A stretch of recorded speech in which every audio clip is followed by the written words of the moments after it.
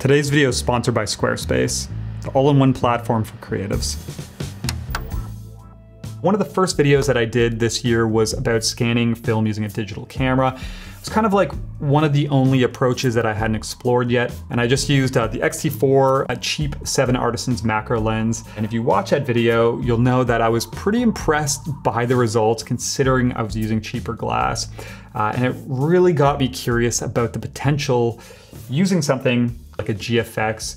Uh, and there was this appeal to me of like investing in something like this and being able to use it as a camera and then also for scanning. So uh, recently I decided to pull the trigger on the 100S. It's been in a few of my uh, videos that have been on the channel so far. And just a couple days ago, I actually said goodbye to the Coolscan 9000. It was incredibly hard to part with, but needless to say, I've just been very impressed with this setup so far. So I uh, wanted to make this video today just to kind of share how my setup's evolved, the accessories I've upgraded since that first video, obviously share uh, this setup, the lenses I'm using, and then we'll look at a number of the, uh, the scans from it and compare them against the Coolscan, just as a way to uh, give anyone out there a feel for how these image files stack up or these scans stack up uh, compared to the Nikon. I also wanna say, I know this is a very expensive setup. It's not gonna be for everyone, uh, but if there is one thing I learned from that first video, from the comments and the discussions, is just that there's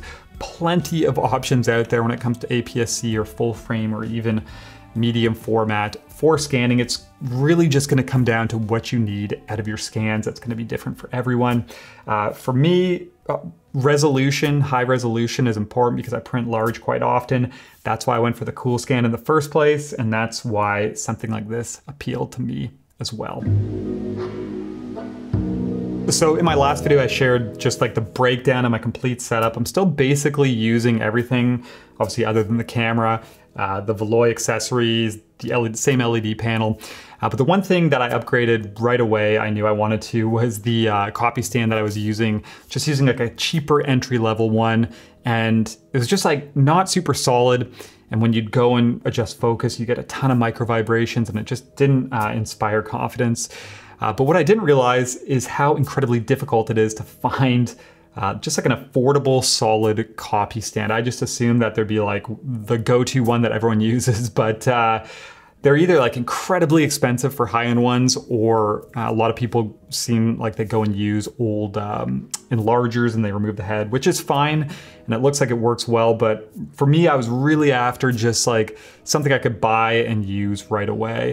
So uh, what I ended up going with, I can't even remember how I found this, but this is by a company called Novoflex. They're a German brand, and this is called the MS Repro and super simple. It basically just mounts to any surface. So I use it mounted to my desk. Obviously I don't, I usually keep it over there, but you can mount this to anything. It just clamps down. And then it has this uh, base plate here, which is really nice. It has a lock, but then there's just this really nice amount of friction. So even when the camera's mounted to it, it doesn't move. And it just has this really nice feel to it where you can make these like micro adjustments and then lock it down. So, you know, overall the thing feels incredibly sturdy.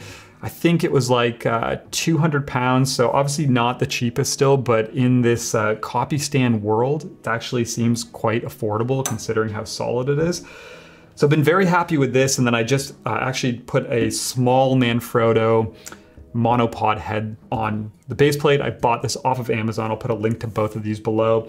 But this just gives me a quick release and then obviously a little bit of extension to bring the camera out and then uh, gives me some uh, tilt as well with the, the camera, which is great for leveling it. So uh, overall, the setup has been amazing. There is just one quirk that I'm trying to kind of work around and refine a little bit, which I'll talk about next uh, when we go into lenses. So obviously needed to get a macro lens for this setup. Uh, the option from Fuji for these cameras is their GF120. I think it's a 2,500 pounds brand new, which is uh, for me, there is absolutely no way I would spend that. I can't spend that amount uh, considering that I wouldn't use it for anything other than scanning. So uh, that led me in the direction of adapted lenses. And the first lens that I picked up and the one that I'm gonna be sticking with is Pentax's uh, 120 f4 macro. This is from their older 645 film cameras. And it's been really great so far. It was 150 pounds, which obviously is way cheaper than the Fuji, and the performance has been awesome. The only downside with this lens is, as you can see, uh, I have a Kipon adapter, and when it's focused out, say somewhere around there, the, it's really long. So obviously, you know, with it being a 120 mil lens, once you get something like this uh, Valoi adapter in there, um, I have to have it mounted as far as it can go up this copy stand. And then even at that height, it just wasn't high enough to be able to get uh, the film in focus. So I had to go and adapt this base plate from one of my cinema cameras and do a little bit of a rig. So it works fine now, but I really wanted to avoid adding extra parts and also obviously, you know, the higher something's mounted up this column, the more susceptible it's gonna be to shake. So uh, that led me to search for a shorter focal length uh, to be able to get this you know, mounted lower down the copy stand. And I ended up going with the Contax 60 mil 2.8 macro planar, which is a 35 millimeter still lens. This is a really like highly regarded, well-reviewed lens. I've eyeballed it for years, but the only problem is I couldn't find anything online about coverage other than uh, one comment in a thread where someone said covers well. So I took uh, a little bit of a gamble and picked one up. And unfortunately, as you'll see when we look at some of the images, uh, when you get close to one-to-one -one, uh, focusing, it starts to vignette just a little bit and there's some softness in the corners, which is a shame because uh, other than that, it would have been absolutely perfect. So uh, if you do shoot with the GFX system and you're shooting with a shorter focal length macro that you've adapted, I would love to hear from you uh, what you're using and if it's nice and sharp corner to corner. But anyways, next we're gonna jump on the computer, uh, take a look at some of these images. But before we do that, uh, as always, just got to take a minute here to talk about the sponsor of today's video, which is Squarespace. I've been using them for a number of years now, and what I enjoy most as someone who really doesn't have any web design experience is just the wide range of professional and clean templates and just how simple and easy it is to use. So for example, you're building out a photography gallery, you can just drop your photos in and then you can just click and drag them to rearrange, which is a really great way to not only update portfolios, but also just play around with sequencing and get new ideas. So check out squarespace.com today for your free trial. And when you're ready to launch, you can use the code squarespace.com slash Kyle McDougall to save 10% off your first purchase of a website or a domain. Okay, let's uh, hop on the computer and take a look at these scans. Okay, so jumping into the images here. We've got a few different ones to look at, some 645, some 67, and some 35. Uh, and most of them I have Coolscan examples as well. And gonna do my best here to kind of show you side by sides. There's been some complaints in previous videos about not being able to tell a difference. It is difficult online, especially uh, using Lightroom. I can't zoom in any more than 100% for both of the images at once. So I'll either enlarge it in my editing software or I'll, I'll put a link to the images below. I'll put full res versions out if you want to download them and check them out. But I'll try my best here to give you a good feel for them. But uh, first up, we have 645. So this is from the Coolscan 9000, and this is giving me like a 8500 pixel long image. So pretty good size. And you'll see when we jump to the GFX, obviously this is full sensor, you don't have to crop. That's the beauty thing of it using uh, the 4-3 aspect ratio with 645 film. And this is giving me like almost an 11,000 pixel long image. So quite a bit bigger than the Coolscan, very flexible file. And if we go, so this one is with the Pentax lens, but what we'll do is we'll go and do a side-by-side. -side. So we have the Nikon on the left and the Pentax lensed GFX on the right. And if we zoom into 100%, so this is the Nikon here. Looks good, nice and detailed. And this is the GFX with the Pentax lens. And this was the first image that I, or one of the first images that I scanned and converted and instantly uh, put a smile on my face just because right away it told me that this setup, uh, even with this cheaper Pentax lens, uh, holds up and if not even looks a little bit better than the Coolscan when it comes to detail. Kind of splitting hairs and it will be a little difficult obviously to see this online, but um, really cool to see how well that setup works. So really neat overall. Not gonna pay too much attention to color. Like I've said many times in previous scanning videos with color negative film, there's so many variables. that come into play. So it's not uh, really worth talking too much about.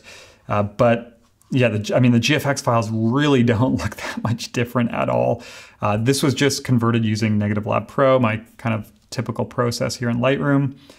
But I will say uh, it's cool to see that the files are very flexible. So if we just say jack the shadows up to 100, and then we go to the Nikon and we do the same, we'll look at both side by side. So Nikon on the left, um, GFX on the right, you will see that there is some more like kind of this green color noise in the deep shadows. Obviously this is pretty extreme, but the GFX files are really clean, uh, which is awesome to see. So just a lot of flexibility for editing these, whatever you want to do with them.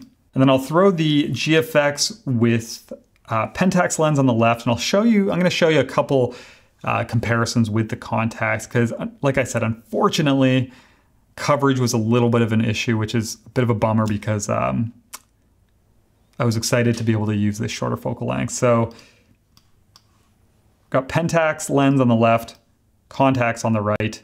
They look so incredibly similar, uh, almost identical in terms of uh, resolving detail. But where the Contax starts to fall off, unfortunately, is in the edges and the corners. So if we go down to this corner here, this is the uh, Pentax. This lens stays sharp edge to edge, corner to corner, very impressive. And you'll see the Contax uh, lot like it starts to kind of smear a lot less detail especially in these plants as you get to the corners and the edges of the frame. And obviously this isn't surprising. The larger sensor is using uh, a lot of that image circle from that lens it's going out to the extreme edges. I just hoped that maybe uh, i know some 35 mil lenses have a lot like cover the sensor really well. I was hoping that would be the case for this one but unfortunately not and then I do, I just have this unconverted 645 negative so you can see the vignetting there uh, from that Contax lens. So a little bit of a shame, but is what it is. This next one, so this is Nikon again, and this is 6.7 film, a 10,500 pixel wide image. So huge file. This was kind of as big as it got for me using the Nikon. If we jump to the GFX, you'll see 10,600, so almost identical. So not losing anything at all with these larger format sizes, uh, in some cases getting quite a bit higher resolution. But we'll do a comparison again. So we'll put uh, Nikon on the left, GFX with Pentax lens on the right. We'll go into 100. And you'll see again, they almost look identical. The Nikon maybe looks a little bit sharper on this sign, but the strange thing is we go down over here to this like grass, the Pentax actually looks a little sharper. So maybe there was, you know, focus differences between the two uh, or film flatness issues, which I doubt, but regardless, the Pentax looks just as good as the Nikon. They're almost identical files, to be honest. And then once more, we'll put the Pentax lens on the right. This is the Contax. They look very similar uh, when it comes to sharpness. Pentax maybe looks a little bit better on this one. But again, let's say we go to the edges here. You'll see that the Contax here on the right starts to get quite a bit softer and starts to kind of smear a bit. Okay, so up next is 35 millimeter, and this is what really excited me. Um, this is the Coolscan 5500 pixel wide, which is a nice size 35 millimeter scan. And this is one of my favorite things about the Coolscan is having this multi-format uh, machine that can do medium format and also do 35 mil really nice. You can see uh, quite a bit of detail with the scanner. But if we jump to the GFX, we're getting like almost a 9,000 pixel wide image, which is crazy. So quite a bit bigger than the Coolscan. And if we throw the Coolscan on the left, and then if we zoom into this one, the one on the right is the Pentax lens, you can see you know the amount of detail uh, in the GFX image is just as good as the Nikon, even with it being quite a bit larger. So I was impressed with this Pentax lens for the price, how well it did resolving the detail in these negatives really cool to see and it excites me a lot about using this setup knowing if I need to I can get these you know really large 35 mil scans really high resolution and then one more time I'll just put the Pentax lens on the left this is the Contax, and I'll just, this is actually the first image where I noticed this drop off. So again, the Pentax, you can see even in the extreme corners, it holds up really nice. Whereas the Contax falls off quite a bit, unfortunately. And then there's just one more. Um, this is a 645 image. I won't show you the comparison. This is the Pentax. You're getting the feel for it, I'm sure, with the Contax one, but just one more to look at with that Pentax lens. Does a great job. Okay, so I have one more thing here I wanted to show. I actually went back and filmed this while I was editing this episode, so that's why I'm not on the screen right now. But this is an overexposed, about four stop overexposed negative uh, on the Coolscan. I figured it could be cool to see how the GFX holds up as well. So this was Portra 800, and this is with the GFX. So it looks very clean. I'll put them up side by side. So we'll do Nikon on the left and GFX on the right. And this wasn't surprising when I did the original camera scanning video. The X-T4 handled this four stop over negative really well. Um, so I obviously knew that the GFX would as well. But uh, what was very interesting is we'll throw this GFX 4 stop over on the left. I decided to go and take the most dense negative I had from this test I did. I think it was about six stops over with Portra 800. And you can see that here on the right. And obviously the color doesn't look great. Pushing this film quite a bit, you wouldn't normally do this. But it was really interesting to see how well the GFX handled this negative considering how dense it would have been. Like even the highlights here look pretty good. Obviously the shadows are gonna look great. So just, yeah, that impressed me. You know, it just shows me that uh, this system, one of these uh, medium format sensors, I'm assuming lots of other cameras as well, but uh, this one in particular, the GFX 100, just very flexible and able to handle uh, a variety of different negatives when it comes to exposure. So a couple closing thoughts to wrap this up. Obviously, you know, from the images that we saw, I'm very, very happy with the performance of this setup, especially with this Pentax 120 macro, considering how affordable it was compared to the Fuji version. You know, the performance was like bang on, or in some cases even better than the Coolscan. Obviously, some of the formats, the resolution was quite a bit bigger. And yeah, overall, it's just lived up to uh, the expectations that I had for it. But uh, the Coolscan, for sure, I'm gonna miss it. I think what that has going for it that this doesn't is just the simplicity and the easy use. You buy it, you load your film in a tray, and then you just scan and you go. Uh, with camera scanning, for sure, there is more of like a setup process. It's a little more finicky. There's things to figure out, but honestly, I haven't found it that bad at all. I know in my last video, there were some people that commented who were just adamant that it was, you know, so finicky and not worth it and they wouldn't recommend it to anyone. Obviously to each their own, but personally, I have not found it to be that difficult at all. It just takes some time. If anything, the most challenging part for me is just nailing uh, critical focus when you're using a manual focus lens, just with that little bit of variance. But um, other than that, it just takes some time to uh, find what you need and get a setup that works right for you. But um, yeah, moving forward, I'm excited to use this. It checks a lot of boxes for me. I hope that uh, this video helps give you a feel for what uh, this a camera like this is capable of for scanning film. And I think uh, one of the 50 megapixel versions is also an amazing option if you shoot a lot of medium format, just with the native 4.3 sensor, not having to crop anything. Uh, but obviously it all comes down to what you shoot. So uh, other than that, I just want to say, yeah, hope you enjoyed this. Thank you as always for watching, and uh, I'll talk to you soon.